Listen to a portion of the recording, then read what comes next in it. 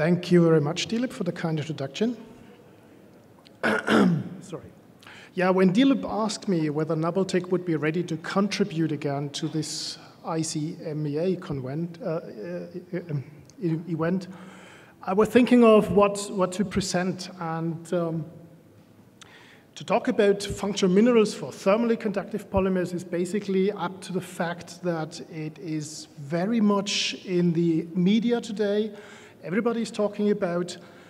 And what I like to do is give a little bit a picture of what is really going on there in the market. Of course, showing some technical details on some development we are performing currently and, and giving a little bit of a summary on, on how we see the world of these, this topic today. Um, let me give the chance to say some words about Nabaltec. Nabaltec is a Germany-based company, uh, is a typical medium-sized chemical company. We are into the production of aluminum hydroxides and aluminas. So we are originally uh, based on the aluminum industry. And as, as you can see on the right hand, on, on the right hand side of that slide, uh, the history goes back to the 1930s when it was established as a production site of a big aluminum metal group. Nowadays, we have around about 460 employees.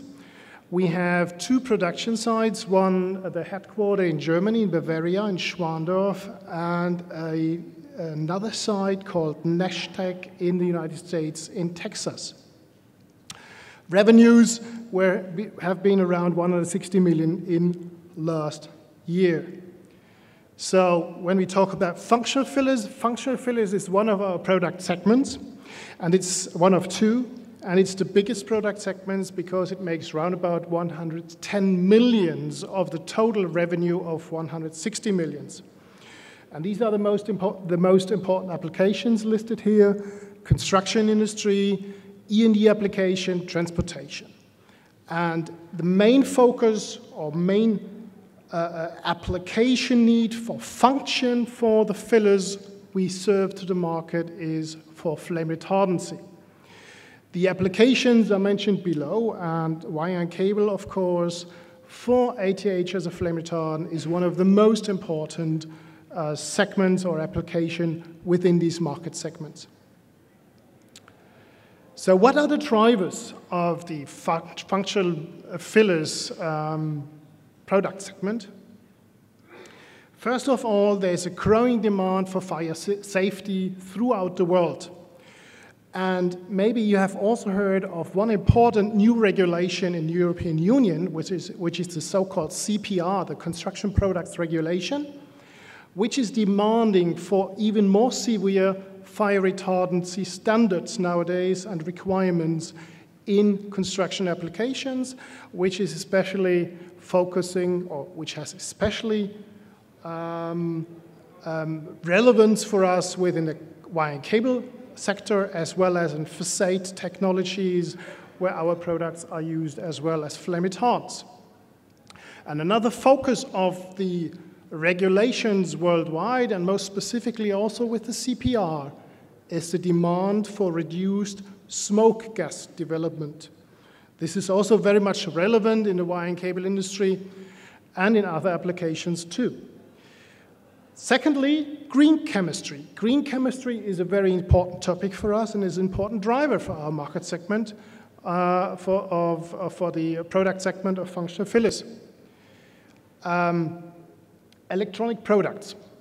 ROHS was already mentioned, WEEE, the replacement of toxic systems with all natural flame retardants, and the reusability of products, the, um, the um, uh, recycling quorum, which is requested by the European Union, is now going to be increased, so it is a very important topic. And last but not, not, but not least, environment technology.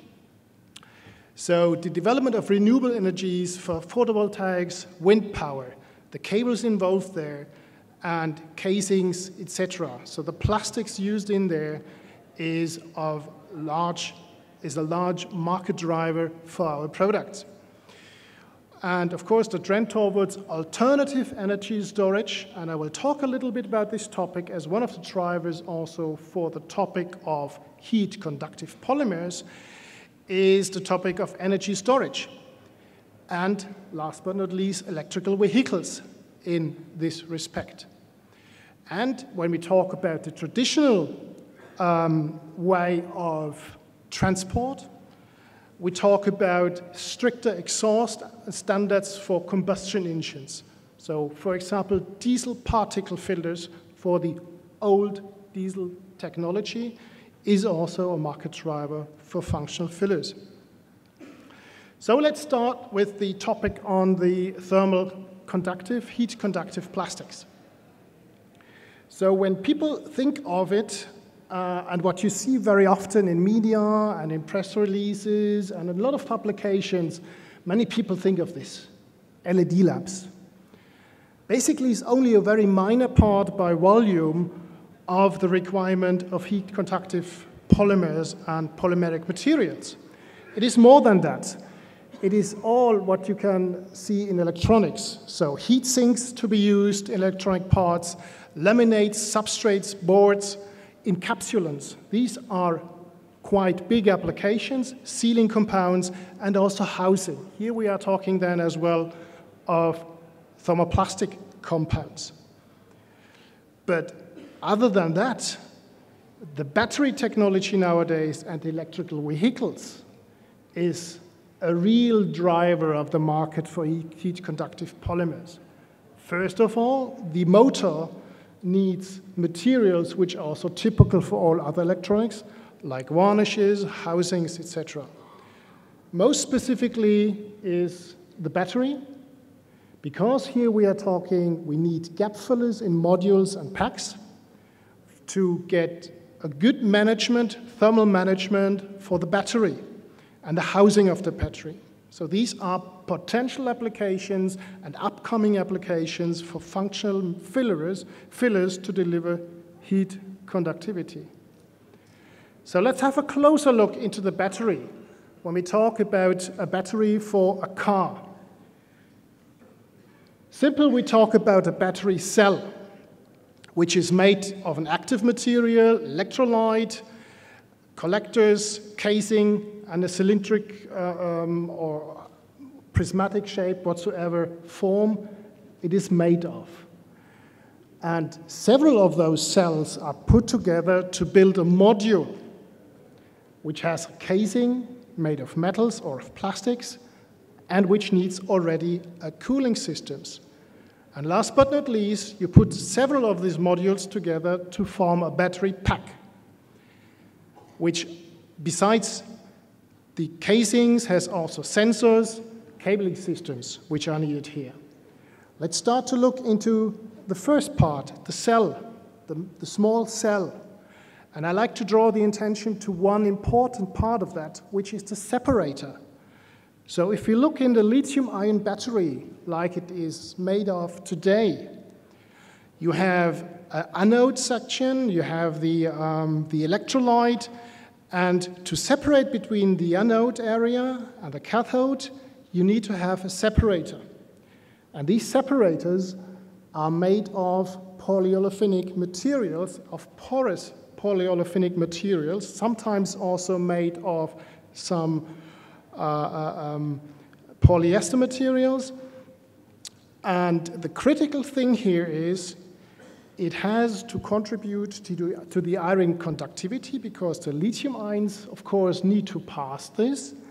But what you want to avoid is, of course, you want to avoid that anode and cathode get into contact. So normally the separator as such fulfills this perfectly. But if it comes to the case that you have an overheating or that the battery doesn't work at the right temperature, it may come that the battery is overheating. If the battery is overheating, you may, you may see shrinkage of that polyolefin, of olefinic separator like it is shown here. This is from a publication done by a Chinese colleague using one of our products. And you see here on bottom, if you use a mineral filler to be coated on, at least on one side of these separators, sometimes also on both sides of these polyolefinic separators, you can avoid this shrinkage in case of overheating like it is, like it is done here in the laboratory going up to 170 degrees Celsius. So how does it look like? So you see this is a separator, this is the polyolefin uh, um, separator, and this is the mineral which is coated on top of that. Normally the thickness of this is 4 micron to 8 micron, maximum 10 micron. So very thin coating which, which serves that the separator will not shrink. This is the top view. You see the individual mineral particles. And still, uh, what is very important, this coating still, of course, needs to make sure that the lithium ions can penetrate through it so that you still have, of course, the, the full um, um, movability of the lithium ions. But what does the, the ceramic coating do? What does it do? What, what, what is it good for? It avoids the shrinkage of the polyolefin separator in case of such overheating, which may happen during unloading, which may happen if you have a, a, a overloading, so overcapacity, and it avoids also the forming of so-called lithium dendrites. Sometimes during the unloading process, lithium dendrites form from the cathode to the anode. And if this is the case, they can penetrate through the separator and you have a contact between the anode and cathode. And then you have a thermal catastrophic situation, which is called the thermal runaway. And of course, with such a coating, you can avoid this. So it helps to further avoid such situation. And with all of that, you can avoid shortcuts. So this is a passive way of avoiding overheating. So the ceramic coating is not directly a thermal conductive material here. This is not the major sense. The major sense is simple avoiding the, um, the overheating by a catastrophic situation of shortcutting. Secondly, when we then come to the module pack, to the modules and the packs, here we're talking about the cooling systems. And the cooling system is twofold. It is active, what you may need is a forced air cooling, and you have a passive cooling as well. Now we are talking about gap filler material. So what you, what you put into, when you put together the individual cells to module, when you put together the module into a pack system, you need something in between to conduct the heat from the cells so that you can avoid the battery to overheat and to have the battery at the correct operation temperature. Because the operation temperature of a lithium ion battery is relatively restricted to zero to a certain narrow time, uh, uh temperature band. So what materials can be used as gap filler materials? You may have read in literature or if you're covering, if you are in, in this field, phase change material has very often been described. It is a nice, scientifically very nice, interesting material. The case is, if you talk about organic phase change materials, you have the chance of flammability. These are highly flammable, materials. Very often, these are paraffin waxes type of material, so flammability is a case. When we talk about inorganic fillers, Uh, first of all, I have to say there's also inorganic phase change materials, but the disadvantage with these products is they change also their volume quite significantly during the phase change. And this is why they cannot be used for batteries, because the battery pack has only a certain volume and the phase change should not be too big during unloading and deloading and during temperature changes. So what really comes into play are the inorganic fillers functional fillers which are non-flammable or, when we talk about mineral flame retardants, may even provide flame retardancy.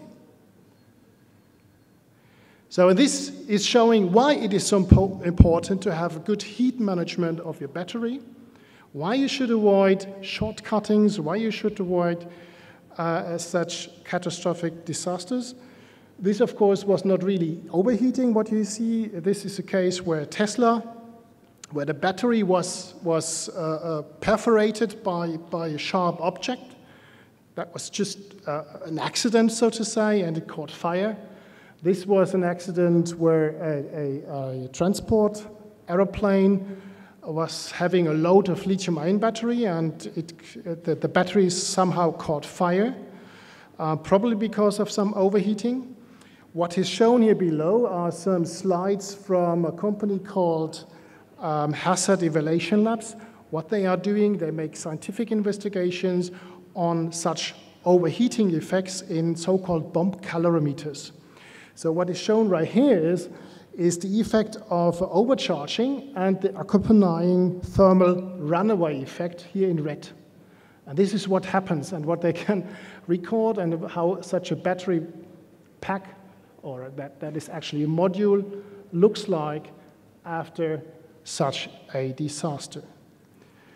So coming back to, uh, to more summary, what, what is important about heat conductivity? You know, heat conductivity, we have heat transfer, which is determined first of all by the thermal conductivity of the material, given in watt per meter and Kelvin. But secondly, of what is important, of course, is the exchange surface, the, the, the heat transfer area, so to say, where the heat can be transferred, and of course, the temperature difference between the two uh, sides where you want to, to, um, to distribute the thermal energy between, and of course the thickness of the material. So uh, the, the, difference of temperature divided by the thickness of material. And what is most important, it is not only the intrinsic heat conductivity of filler and matrix, but it's also the loading of the filler, which you can realize in the polymer matrix, which is important to have a good uh, conductivity, good heat conductivity. But there are other factors which are very important. One of which is, of course, processability. There's a lot of nice products out in the mar market who have high heat conductivities, but which are extremely difficult to process. One, of, one factor is maybe some products show a very slippery effect, are very difficult to be dispersed. Others have high abrasion, high hardness, and then density weight is the next factor. Of course, a battery is, uh, or a lot of electronic material is, is, is built into applications where weight is an important factor. So density weight is important. It shouldn't be too high. Heat aging stability of the total system, of your composite, of your polymer material should be okay. And last but not least, flammability not in each and every application, but in many applica application, flammability, or better say non-flammability, is a very important criteria for the application. So, and what I've done here, I listed some of the most important products which come into play for this. When I'm talking about heat conductivity, I'm only and selectively talking about heat conductive fillers which are electrically isolating. I'm not talking about metal filled compounds. With such products, of course, you can achieve much, much higher heat conductivity, but also you are electrically conductive. So we as Nabaltec are in these fields of fillers, so aluminium hydroxide, ATH, magnesium hydroxide, MDH, boehmite, aluminium oxide hydrate. These products have one disadvantage when it comes to the processing and compounding. If you have to go into engineering plastics, there's a borderline of processing temperature which is from 200 to 340 degrees C. So for ATH, many applications, like for example, many matrix polymers, like for example polyamide, are not doable. You simply cannot use it. The thermal conductivity is given in this column. Unfortunately, I did not find any literature value for ATH and magnesium hydroxide. It's difficult to find them. I found one, interestingly, for boehmite. What we know by our investigations is that the heat conductivity of aluminum hydroxide and magnesium hydroxide is higher than that of boehmite. But it's not as high as that of oxides like alumina, aluminum oxide, and magnesium oxides, where you have significantly higher heat conductivity values with a factor of 10 compared to the corresponding hydroxides. On the other hand side, what you have to look into at, to, at is the density of these products. The metal hydrates by tendency have lower physical densities than the oxide materials. That is, of course, a drawback. Secondly, even a much more major drawback is the corrosion, corrosiveness, the hardness of these materials. Alumina has a very high Mohs hardness, so it's very abrasive. Same with, or with a, a little bit lower extent, magnesium oxide. Other very important or quite important fillers used in heat conductive applications are hexagonal, hex, hexagonal boron nitride, which has a very high heat conductivity. These two values given here is because this material is of a platy structure and gives in a composite material, in a compound, very different values of heat conductivity, depending whether you are talking in planar or perpendicular to the planarity of the filler material. Um, it can be this or this for the boron nitride itself. The composite, of course, is much lower than. Density is very nice of boron nitride, but boron nitride, and, and, and it's very soft material. But boron nitride has other disadvantages. It's very difficult to compound. It's very difficult to disperse into polymer matrices. Aluminium nitride also has high heat conductivity. Again, it has uh, two different values, uh, but it's very hard, and price-wise, it's much more expensive even. Boron nitride is already quite an expensive material, but aluminum nitride is only used in very seldom cases where it gives certain benefits. And the third product, the last product, silica, is also, I won't talk a lot about these products. I will concentrate on, on the, the products on top. Um, aluminum hydroxide is, of course, very well known as a. It gives a very good flame. We have already seen that flame may play a role in most applications where thermal heat conductivity is required. And you can achieve high loadings. By multimodal particle size distribution concepts, you can achieve very high loadings. It is of very of relatively low hardness, low abrasion, a Mohs hardness of only three. It can deliver moderate heat conductivity. It's not an excellent heat conductive material. It's not a very good one, but it gives some heat conductivity. The most, the, the most important drawback is the limited temperature stability because it, it starts to decompose above 200 degrees Celsius to form the corresponding alumina, aluminum oxide aluminum oxide hydrate, aluminum monohydrate, also called boehmite, is um, a product with a higher temperature stability. It only decomposes above 340 degrees Celsius, also because of its moderate hydrophilicity. Principally, high loadings are doable, are possible. But flame because of the lower content of hydrated water bounded in the chemical structure, the flame efficiency of this material is significantly lower than that of ATH, but still it can give in a composite a good to moderate flame retardancy. It has a moderate hardness, it's harder than ATH, but still acceptable. acceptable. And the heat conductivity is, uh, of these three hydrate products, probably the lowest with 2.2 watt per meter in Kelvin. This is a literature value which I found.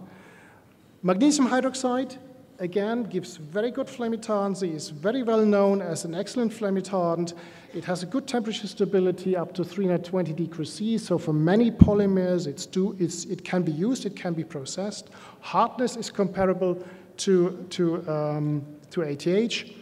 Moderate loadings are possible and moderate heat conductivity can be achieved with this product, so it's principally be, can be used. The issue with that material we have seen in many applications, it's its high alkalinity. Because of its high alkalinity, you have a limited polymer compatibility for, in, in some polymers. For example, in epoxy resin, it sometimes gives some issues. And it has a low acid resistance. This may be of importance for some applications where the, uh, the, the, electronic component where you put these fillers into are, are etched in a certain process, and these etching solutions are mostly acidic solutions. So let's have a look into reactive uh, or liquid resin where such fillers are used.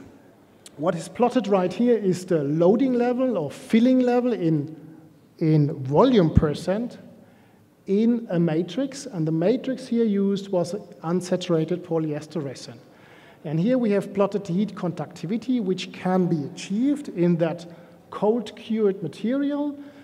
how we measured it, it is the so-called hot disk method. You have two uh, identical samples uh, of material brought in between that measuring cell, the detector, and uh, by observing the heat flow, you can calculate, you can plot the heat conductivity value. So now about the graph, what is showing here? It's different dots, it's a little bit complicated maybe. You have different grades of ATH. Let's, let's start with the sayings we have here. The heat conductivity of ATH is higher than, of, than that of boehmite. Boehmite is shown here in green dots. You see here we have different loadings of a boehmite material, aluminum oxide hydrate material compared to ATH, which is the blue dots here. Second, the heat conductivity is independent, or the heat conductive value is independent of the particle size distribution. PSD stands for particle size distribution. Can be seen here. Here we have basically two dots lying above each other. One is for an ATH grade of one micron size. The other one is for an ATH which has a broad particle size distribution with also coarse particles uh, between uh, 0.5 to 20 microns. You see, it makes no difference at this loading, we get the same heat conductivity. We have seen, we see difference between the material, boehmite and ATH, but at the same loading, same material, no difference between particle size. So this is meant with this saying. And what can we, what can we state from this graph? If you let, look at the loading in correspondence with the achieved heat conductivity, the most important effect, the filling level is the most decisive factor for the heat conductivity. So what is shown here on top, the best players here is two products with a relatively broad particle size distribution. It's a, a multimodal particle size distribution made of different ATH grades, and it has particles in the range of 1 to 100 micrometers. You can see you can achieve heat conductivities in the range close to 2 watt per meter in Kelvin in this specific UP resin. Some optimizations are shown here in single dots. You can get a little bit higher starting from purely ATH-filled systems if you combine ATH with boehmite, aluminum oxide hydrate, or with alumin alumina boron nitride, aluminum silicate. This has been done here in some experimental, experimental status here, which is called uh, mix one, mix two, mix three. So very decisive is the filling level, but still you see with that relatively high loading of these volume percent, we are close to 90% in weight percent, we achieve only 2 watt per meter in Kelvin. Still, this is a, practically a practical solution. Why? When we talk about heat sink material, it is a matter of fact, or it has been observed, that when the heat conductivity of the heat sink material has achieved a value of 1.5 to 2 watt per, met per meter in Kelvin, the convective transport be the, between the contact medium and the media which, uh, which has to, to get rid of the heat is the most decisive, is most decisive to cool down the system. So to remove the heat, you, you may apply a heat conductive material with even higher heat conductivity, heat conductivity. It will not help as long as you has, have not managed the cooling system. So what is most important, have a good combination of an air-forced air cooling system and a, a gap filler material with this heat conductivity is quite sufficient to fulfill the need. So 2 watt per meter Kelvin is sufficient for gap filler material. And we know that silicon-based, unsaturated polyester-based, polyurethane-based resins, highly filled with ATH, sometimes combined with some other fillers, are in industrial approval steps at automotive OEMs. And these generations of gap filling materials in these battery modules are going to be started in 2019, 2020 with these new electron vehicle generations. So now when you need higher heat conductivity, we have already seen there's other materials like alumina. Alumina we produce in different hardnesses. You can calcine alumina to different degrees and then you get softer materials to harder materials. What is it about? It's a phase change. We have so-called um, material to start with, which is so-called gamma alumina, which is a relatively soft alumina. And when you calcine it to a higher degree, you have a higher content of alpha alumina phase. And the alpha alumina phase is the one with, which has the very high Mohs hardness. So this is explaining why we get from soft to hard material. Um, basically, if you look into aluminas, in both cases, softer and harder materials, the very good effect for plastic compounding is you have no temperature restriction on processing. You get good heat conductivity, but with, the, I, I start with the, with the most important drawback. The harder you get with the alumina, you have very high hardness, very high abrasion. And that's, of course, problematic. If you think about your screws doing compounding, that's a very difficult uh, issue. With a softer material, this may be a little bit more moderate, but still it is a significant issue. A drawback of the softer material is that you have a relatively moderate loading, uh, which is possible because it has a more porous, porous structure, which doesn't allow for very high loadings. A drawback, which is besides the abrasion uh, with all aluminas, is of course you don't have a flame retardancy effect. Magnesium oxide is very similar. You have no temperature restriction. You can compound it. It has a good heat conductivity. You can achieve load uh, medium to high to moderate loadings. But again, you have hardness issues. It's a little bit better in hardness. It's lower in hardness. Um, and it has no flame retardancy. What is quite typical for magnesium oxides. You very often find magnesium oxides which are very grayish, yellowish, or reddish in color, with, which are very often not accepted by compounders, by, by uh, polymer converters. So showing these pictures as a, as a, as a motivation, why, why is abrasion so problematic? What is shown here is internal mixer of a Brabender type compounding ATH in HDPE at this volume percent loading level, alumina, alpha alumina, and a spray dried granule of alpha alumina. You see here, if you want to polish your extruder, that's an excellent material to do that. Um, question is now, why is there more abrasion? Obviously, it's more clean than here and more uh, shining than here even though the spray-dried granules contain some organic. This is, to our belief, and that's what we have quantified as well, is up to the particle size distribution because we have relatively big particles and what we have seen is the higher the particle size, the, the, the higher is the, the efficiency on polishing or the, the more is the abrasiveness of the material. And this is shown with the next slide.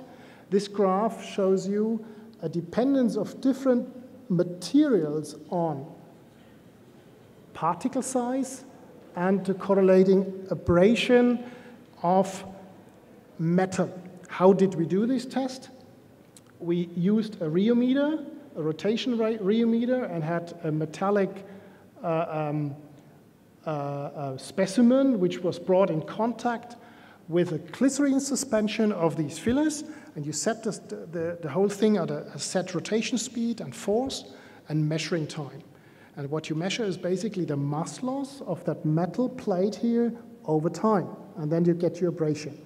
And you see with the aluminum oxide, with the alpha alumina, so the very hard alumina, you see the higher the particle size of, of the alumina, the more abrasion you get. The same is true with the softer gamma alumina, but the effect is less. So you have a lower abrasion here, and very little abrasion you see with ATH, or nearly any abrasion you see with ATH. Even there's a very little dependency on particle size on abrasion. So why not using such soft aluminas then, if, if the abrasion is so much better? Answer is given here. You see here um, the heat conductivity as a function of loading and volume percent for three different loadings we tried in a HDPE compound, volume percent loadings, and you see ATH with two different particle sizes. This is a fine precipitated grade with a medium particle size of 1.5, and this is a, a, grade which has a medium particle size of around about 30 micron, and this is a boehmite, aluminum oxide hydrate, gamma, and alpha alumina. You see alpha alumina, you can achieve relatively good heat conductivity values, up to three here, uh, uh, around about at the highest loading. The gamma, unfortunately, it is not possible to go up to these values because you cannot realize these loadings. It's, you can simply not get it into, the, into this compound of HD, uh, into this HDPE during compounding.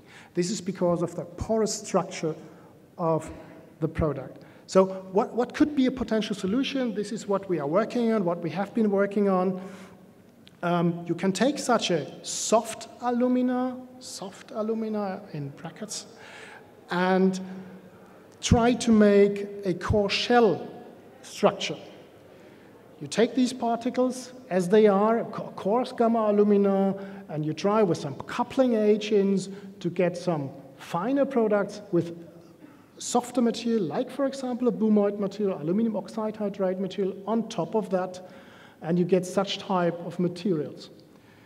Other than that, you can also use a spray-dried granule of these gamma aluminas, so finer gamma, gamma aluminas spray-dried to such round structures, to such granulates, and then use these granulates and to, to do a core shell structure as well. This is shown below. This is the core, this is the core shell. And this, if you go closer to the shell, you see different kind of particles. But still you see it's not the way that you only see one particle nature on top. It's, it's not perfect. You can't do it perfectly. This is just to show you the concepts we follow here to get, uh, get rid of that abrasion problem. This is showing some results which is, which is showing that the, the, the issue is not that easy. Um, what is shown here is the, um, uh, we use a, abrasion, we use a mixer, internal mixer, and then we measure the compound, the iron oxide, nickel, and chromium content which is inside. You see with ATH, we used a small, uh, med, uh, um, a fine precipitated ATH here. Basically no abrasion, the values here, the ppm values, this is already in the material. It is part of the product. With the alumina, the alpha alumina, you get some abrasion, you see some nickel, you see some chromium. And then we have here the green is a, a, a, a commercially available spray-dried granule of alpha alumina. So basically the same material here, but spray-dried granules. You see that you can reduce a little bit the abrasion on, especially for the nickel and chromium values. Uh, what is shown here is the compound, compounding time after dispersion. So we compound relatively long, 20 minutes to do the mix, and then afterwards we compound even longer, as you see here. And you see the longer you compound, the more abrasion you get. So now to the, to the ideas which we followed about the core shell particles. This is shown here, the core shell particles, spray-dried blend of boehmite and, and, and, and, and, and aluminum oxide. First of all, you see, yes, we see the effect. It's better than alumina, but it's not better than commercially available spray-dried granules. And if we compare with a simple physical blend of aluminum oxide and boehmite, it's a little bit frustrating as development is very often, right? You see the physical blend is even lower in abrasion, in, in these abrasion values for, for the two um, iron oxide or chromium level. Um, so basically you can state the core shell didn't bring a solution. It's not better than having no, than simply blending the two type of materials. So why is this so? This is because when you disperse the material, then the particles, the, the, the core shell is not extremely stable. It breaks, uh, uh, breaks apart, and then you have the abrasion efficiency of the individual particles. And this simply ex explains why that core shell approach did not succeed the way we would wished it would, it would give us a solution to avoid the abrasion. So other ways of giving a better uh, compatibility between the uh, filler and the polymer matrix and also maybe to avoid some abrasion is coatings. Here are different coating materials mentioned which you basically can use for the different polymers to be applied. You can apply in with different functionalities. I only show you, show you one example. We did experiments in polyamide 6 with uh, 10 weight percent of glass fiber and used 50 weight, uh, weight, weight percent, in this case weight percent of filler. And what is plotted here is the cone calorimeter. The heat, this is a flammability test um, to also show you the effect on flammability. What you can see is this is the no filler uh, um, product, so it simply contains 10% of glass fiber. It, it has this heat conductivity, in UL94 vertical flammability test, it fails because flame retardancy is not good enough and has the highest so-called peak heat release. So most heat is released during this test. When we, when we compare with the other materials using boehmite, a coated boehmite, we use a coated magnesium hydroxide, and we use a blend of boron nitride and boehmite, we see we have an effect on flame retardancy. We see much lower um, peak heat, uh, heat release rate values. We see good LOIs, especially with the magnesium hydroxide and the boron nitride boehmite mixtures. And especially with the boron nitride, we see very good or good heat conductivity values. So nice, nice result in first glance, at first glance. But if you look at the processing Still, it is only a blend of boron nitride, and we didn't use a lot of boron nitride. The dominating filler was the boehmite. Still, you get enormous processing issues. And this is still a topic we are working hardly on to see how can you do blends of different fillers to get a better uh, uh, compounding behavior, to get a better injection molding behavior. Here you see injection molded specimens used for the cone calorimeter test, which is a 10 multiplied 10 centimeter plug. You see some bubbles here. Uh, so it was extremely difficult to process that. Uh, I would even call this a, a plate out. This is more than a plate out. It's just, just a disaster. It was not easy to process. So there's still a long way to go for these type of applications, but I hope I could show you, and this is now my conclusion, that heat conductive polymer materials are gaining interest, that is for sure. But finally, after I would say five years of discussion, a lot of papers, a lot of development done in industry, we finally have really an application where we're going to see real volume demand very, very soon. And this is with the electronic vehicles, with the battery applications, with this thermal management of batteries, which I have shown you. This, the good thing for us as a producer of mineral flame retardants, the volume demand needs here in this application they only need a moderate heat conductivity. And we believe that it will be mostly served with ATH grades, giving this, this, this, this, um, this, this good viscosity behavior because of the multimodal structure, which allows for very high fillers and high loadings. Besides that, there is a demand for even higher heat conductivity in polymer matrices, and we are trying to develop such products as other suppliers, raw materials suppliers are doing too. And we work on such solutions. Um, the main focus, of course, is they have to be processable and they have to be affordable. Because what you see on the marketplace, many of those solutions are still very, very expensive. And they have to come down in price, otherwise they will not succeed. That was my talk. Thank you very much for your interest.